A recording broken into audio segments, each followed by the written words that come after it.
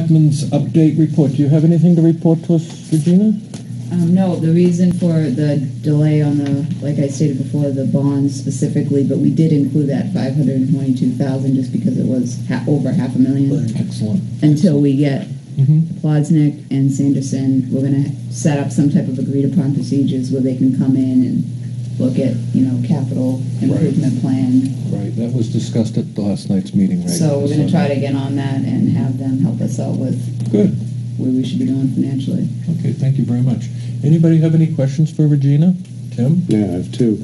Uh, One, of course, is the question of the request for um, consideration of us having a non-public uh, session with the legal department to get into the confidential details as to why their budget is being increased substantially this year.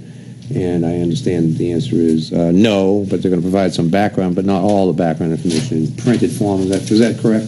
Yes, when. Okay, thank you.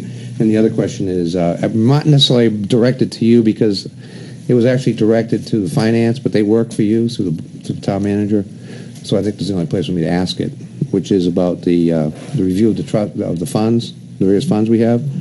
Uh, I don't think you got an answer yet, but I think there was an implication because we asked for a gasoline diesel discussion on the same meeting that we discussed the trust, or the fund Yeah. discussion. So I think by implication that it's agreed to, but I think it would probably be best if it were confirmed. I'll double check with Christie, yeah. Okay, thank you very much. And what date is that gonna be, do you know? It was on uh, J- January 9th. No, I'm, I'm sorry. December, it was the last meeting in December, which is when we originally scheduled final review.